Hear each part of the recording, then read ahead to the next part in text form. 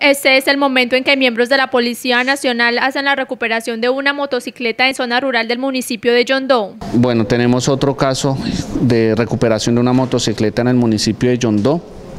Eh, se lleva a cabo un plan de, control ya en el sector eh, rural hacia la vereda San Luis, donde se ubica una motocicleta la cual había sido hurtada hace cinco días en, el, en la parte céntrica de Yondó. El vehículo marca Eco 100 de placas BPA 84A había sido robado en días pasados en sector urbano del municipio antioqueño. El hurto se presentó en, en, el sector urbano y la recuperación se logra en, en el sector rural, en la vereda de San Luis. La recomendación por parte de la Policía Nacional es dejar los vehículos parqueados en lugares seguros.